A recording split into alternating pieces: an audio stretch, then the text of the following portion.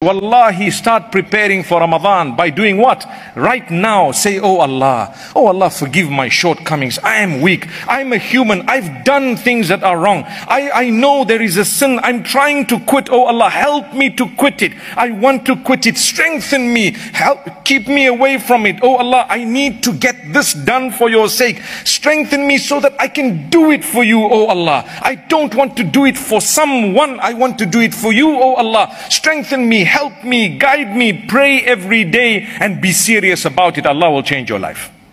Allah will change your life. Don't worry about what people think about you. It means nothing. When you when you're dressed appropriately, they still think bad about you. When you're dressed inappropriately, they still think bad about you. When you're practicing, they still think bad about you. When you're not practicing, they still think bad about you. So don't worry about that.